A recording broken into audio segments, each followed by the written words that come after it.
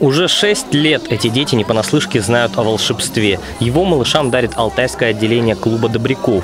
Цель фонда – помощь несовершеннолетним с особенностями здоровья через соцсети. За все эти годы волонтерское движение подарило радость почти 500 семьям. Проекты у нас э, в нашем городе – это коробка храбрости. Мы собираем игрушки для детей, которые находятся на лечении в отделении онкологии и психоневрологии в нашей краевой больнице на Гущина 179. Также у нас есть проект для детей, который называется «Добрый торт». Это когда в день рождения детки от кондитеров получают красивые торты. Для мам мы делали проект э, «Мамины радости».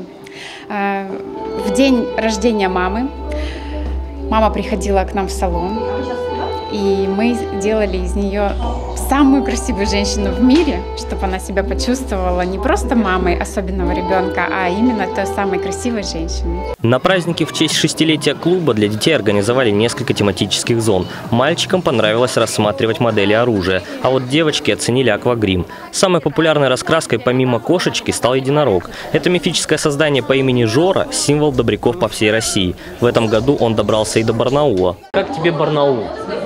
Мне просто великолепно. Я влюбился в этот город. Я буду здесь жить. А где будешь жить?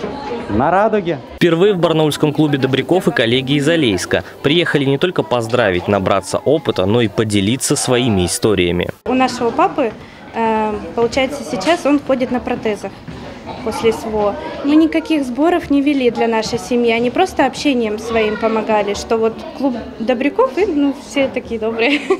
И насколько легче стало?